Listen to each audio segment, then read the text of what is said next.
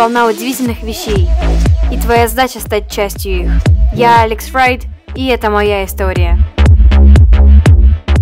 Хей-хей, всем привет! Сегодня с вами Алекс Райд. У меня прекрасное настроение, просто такое обалденное, поэтому я вся на эмоциях. У меня глаза вылазят из орбит, но я вся с вами. И это видео, которое я давно-давно не делала, простите меня за это, но я снова его делаю. В этом видео я хочу рассказать вам вот про эту шикарную вещь, которую я ранее показывала. Это мой, как бы, личный дневник, но не просто личный дневник, это скорее более такой мой travel journal, мой дневник путешествий. И чем он отличается от обычного личного дневника? Помимо того, что я иногда здесь пишу пишу какие-то свои эмоции, переживания, просто мои мысли. В основном я описываю здесь свои путешествия, свои как приключения и какие ассоциации у меня этим сходятся. В данный момент я заполняю раздел о Нью-Йорке, у меня также есть здесь всякие такие вот вещи, которые это напоминают. Я сделала несколько страниц, написала, и что сегодня я вам, собственно, продемонстрирую, это покажу, что здесь уже есть, и сделаю с вами один-два разворота, посмотрим. На самом деле, кто не смотрел видео про этот личный дневник до этого, мне этот дневник подарила моя горячо любимая ученица по испанскому Елена Николаевна. Спасибо огромное за этот дневник, если вы смотрите видео. Он обалденный, и чем он мне нравится? Тем, что здесь разноцветные страницы, то есть они все выполнены под дизайн каких-то старых, знаете, писем, распечаток, я не знаю, то есть тут всякие штампы, красивые зарисовки в этом дневнике, и я думаю, блин, вот такой дневник тратить на просто какие-то свои, знаете, там, расписания, разукрашки, там, планирование, это я не хочу хочу. В таком дневнике нужно писать действительно такие душевные мысли и воспоминания, а самые дорогие воспоминания это мои воспоминания о путешествиях. Именно поэтому я начала описывать свой год в Нью-Йорке, мои любимые места, которые я люблю посещать, парки, кафе, рестораны, музеи и тому подобное. Также я хочу здесь расписать немножко Болгарии. Тут же я уже писала Нижневартовск. Буду планировать свою, сейчас точнее расписывать свою жизнь в Сиэтле, надо не забывать и писать и тому подобное. Багамы, Таиланд и просто все мои воспоминания, которые которые я тут буду записывать и дальше в течение жизни, когда я когда-то путешествую куда-то. Еще одна такая поправка, которую я делаю в этом дневнике,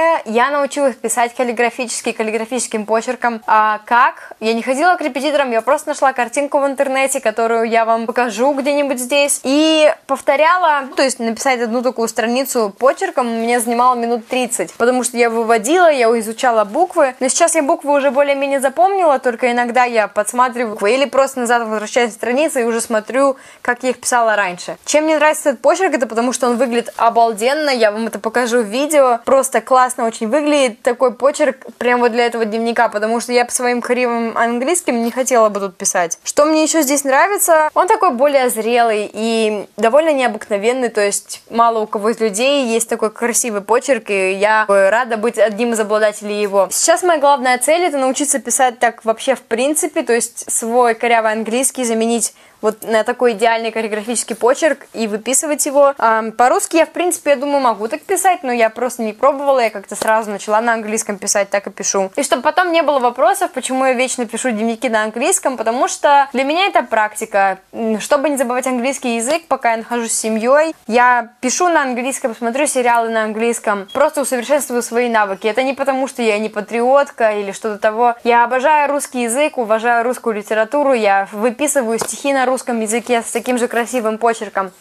Но когда я пишу по-английски, мне почему-то нравятся мои мысли так на английском излагать. Даже если бы я снимала видео на английском, мне кажется, они были бы гораздо более веселые, наверное, и эмоциональные. Поэтому я и пишу на английском. Пожалуйста, не надо меня за это осуждать. У всех свои предпочтения. И, ну, знаете, на вкус и цвет товарища нет, поэтому не надо осуждать людей за те вещи, которые не нравятся вам собственно. Уселась, короче, я здесь под камерой, и сейчас вам покажу свой вот этот личный дневник, мой travel journal, что здесь, собственно, есть. Выглядит он вот так вот, весь в каких-то марках, надписях. Довольно оригинальное исполнение, и дальше мы открываем первую страницу, здесь просто вложено письмо от моей лучшей подруги. Вот тут написано для Александры Тарасовой, Хмао Нижневартовска. А, то есть это письмо они мне собирались с подругами отправить, там еще одно было несколько просто месяцев, но ничего не получалось, поэтому мне просто передали его лично в руки из Нижневартовска. Я буду его хранить его вечно, потому что оно обалденное, я плакала, когда я его читала, Просто брат за брата за основу взято. Вот, я его потом в конечном итоге куда-нибудь вклею. Дальше мы открываем первую страницу, и у меня здесь написано, то есть такая вывеска, как бы, я даже не знаю сказать, что это такое. Просто какие-то цветочки и здесь написано, этот журнал является собственностью Александры Тарасовой, который начался в Нижневартовске, в Сибири, России, такого-то числа. Это было 29 июня 2015 года. И дальше мое просто любимое высказывание на латыни «Audaces fortuna juvat», что переводится «счастье сопутствует смелым». И здесь просто начинается такое описание моей жизни в Нижневартовске, с того, что типа «My dear friend, currently I'm writing this note» и тому подобное, где я нахожусь, что я как бы видела, чем занималась, Здесь мне нравится эта страница, что есть здесь строчки, потому что строчки есть не на всех страницах, и иногда писать неудобно. Дальше здесь, опять же, а, как вы заметили, здесь я всегда пишу сверху местонахождение, и в верхнем правом углу я пишу дату. То есть здесь, если писала в Нижневартовске, то здесь я уже пишу in the sky, потому что в это время я находилась в самолете, и пока была в самолете, я писала. И здесь также я все в самолете писала. Здесь я уже в Москве, 1 июля, когда я прилетела в Москву и летела сюда в Болгарию, я тоже все писала. Но это так неинтересно, я просто опять в самолете описывала, и здесь я уже начала описывать в Болгарии. В Болгарии я писала места, которые мне нравятся. Один бар рядом здесь на пляже. И вот одна из любимых моих страниц, потому что здесь вот этот цветочек, этот цветочек настоящий, мне его подарил мой молодой человек, просто сорвал, когда мы гуляли, и вот здесь написано по Брайан-парку. Брайан-парк это один из моих любимых парков в Нью-Йорке, потому что там Зимой обалденный каток и ярмарка, а весной там просто очень классное место погулять. И я просто описывала весь день, когда мы там были, а, вареничная, вот это вот моя любимая в Бруклине, где мы кушали русскую кухню и тому подобное. Дальше я как-то описала немножко Москвы, даже не Москвы, а просто вот именно это русское место, где мне нравится русский район, нарисовала такой как бы Кремль, что на самом деле нифига не Кремль, но я старалась в любом случае. Я решила, что я просто на страницах, когда я что-то описываю, буду делать такие небольшие зарисовки, зарисовки, которые будут у меня символизироваться с этим местом. Все-таки решила как-то сделать более серьезно и начала такую вкладку, допустим, такой раздел. Я буду писать чисто о Нью-Йорке, о своей жизни там и местах, которые мне понравились.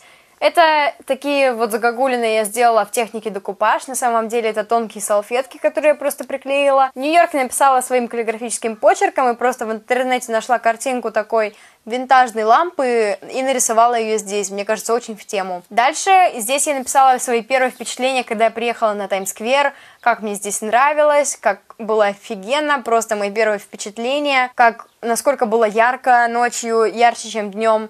И здесь я написала мое другое место любимое, это также Центральный парк. И сделала такую небольшую зарисовку, где видно озеро, видно э, вот этот вот мостик, высотки, дом-свечку, деревья. Я знаю, что я не идеальный художник, но все-таки я стараюсь и просто делаю такие небольшие зарисовки, которые мне напоминают о местах, в которых мне когда-то было очень приятно находиться. Я здесь начала писать страницу непосредственно о моих любимых местах в Нью-Йорке, о моих районах любимых. И начала я с Чайна-тауна. И, собственно, сегодня мы с вами и закончим вот эту страницу о Чайна-тауне. Так что еще у меня здесь есть два таких цветочка. Вот этот свежий, он из Болгарии, вы можете увидеть.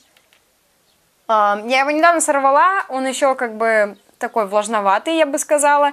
Если вы не заметили, я очень люблю сушить цветы и потом вклеивать их. И другой у меня здесь есть это из Вашингтона, вот это вот та самая сакура, которая цветет в Вашингтоне каждую весну. Вот именно те японские вот эти вишневые деревья. А когда мы ездили с классом туда на поездку, я захотела себе привезти такую вот веточку на память и не пожалела, что я это сделала. Так что давайте приступим к написанию страницы про Чайнатаун.